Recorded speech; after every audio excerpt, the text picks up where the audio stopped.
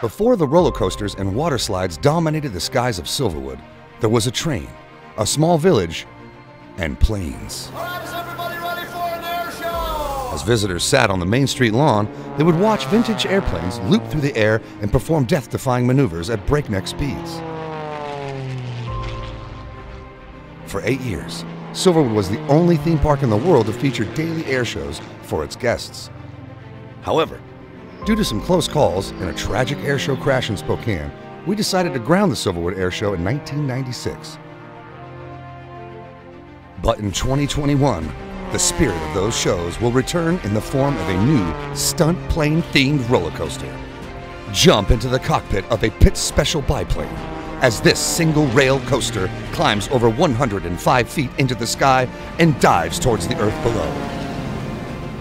Experience hairpin turns, aerobatic maneuvers, and three inversions as the coaster speeds through heart stopping obstacles before returning back to the hangar. Get ready to hold on tight and take flight on Stunt Pilot, opening summer 2021.